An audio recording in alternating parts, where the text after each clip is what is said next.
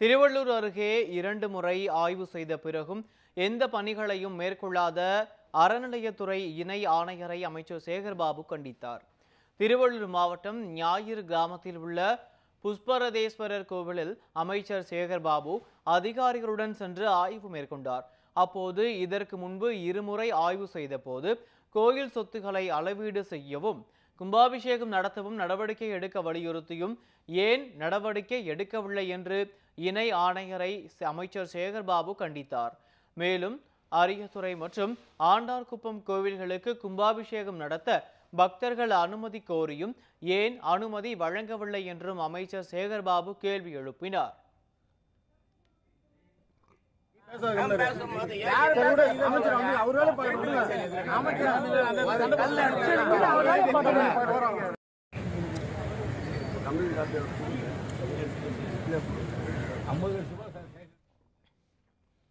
இதையடுத்து ஆய்வின் போது வந்திருந்த பொதுமக்களிடம் ஞாயிறு புஷ்பரதேஸ்வரர் கோவிலில் கும்பாபிஷேகம் நடத்த நடவடிக்கை எடுக்கப்படும் என அமைச்சர் சேகர்பாபு உறுதியளித்தார்.